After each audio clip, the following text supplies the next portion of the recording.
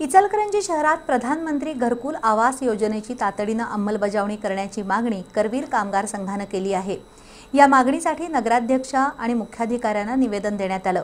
पंधरा दिवसात योग्य ती कारवाई झाली नाही तर नगरपालिकेसमोर बेमुदत ठिया आंदोलनाचा इशारा यावेळी देण्यात आला. पंतप्रधान नरेंद्र मोदी यांनी दोन हजार बावीसपर्यंत सर्वांसाठी घर ही योजना जाहीर केली असून देशातील अनेक शहरात त्याची अंमलबजावणी सुरू आहे. इचलकरंजी नगरपालिकेनंही या योजनेचे अर्ज वितरित केल्यावर गरजूंनी कागदपत्रांसह परिपूर्ण करून ते अर्ज नगरपालिकेत जमा केलेत. कामगार वस्तीच्या या शहरात यंत्रमाग कामगाराला कित्येक वर्ष स्वतःचं घर नाही. त्यामुळं घरकुल आवास योजनेची अंमलबजावणी करण्याची तीन वर्षांपासून मागणी होतीये. नगरपालिकेनं शहापूरमध्ये जागेचा ठराव केला.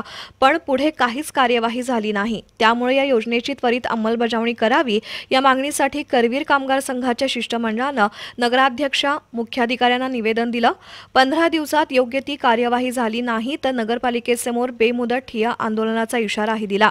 शिष्टमंडळात हणमंत लोहार विष्णू चव्हाण दादू मगदूम हुसेनबा रोन्याळ सायरा मुल्ला यांच्यासह नागरिकांचा समावेश होता.